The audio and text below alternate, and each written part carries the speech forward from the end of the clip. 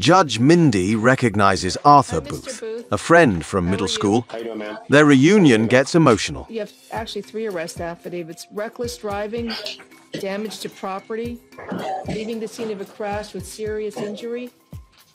With no serious injury. I'm sorry, no serious injury. Okay. The bond on count one is 7,500. Mr. Booth, I have a question for you. I Yes, remember- ma'am. Did you go to Nautilus for middle school? Oh my goodness. Oh my goodness. I'm sorry to see you there. I always wondered what happened to you, sir.